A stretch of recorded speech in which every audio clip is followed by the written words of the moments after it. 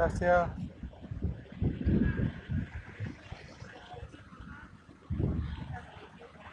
Bueno, estamos acá en el lugar donde había que tener una bicicleta colgada. La bici estaba ahí donde está el tacho de basura, no sé si se acuerdan. Y ahora el nuevo poste está acá. El poste blanco. Donde se supone que vamos a colgar la bicicleta de Sofía este domingo.